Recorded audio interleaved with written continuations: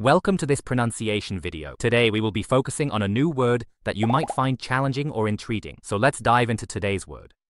chuteyu, which means Zulu in Japanese. let's say it all together. chuteyu. chuteyu. chuteyu. One more time. chuteyu. chuteyu. chuteyu. Thank you for joining us on this adventure in pronunciation. Remember, language is a journey, not a destination. Keep exploring, experimenting, and expanding your linguistic horizons. We'll see you next time.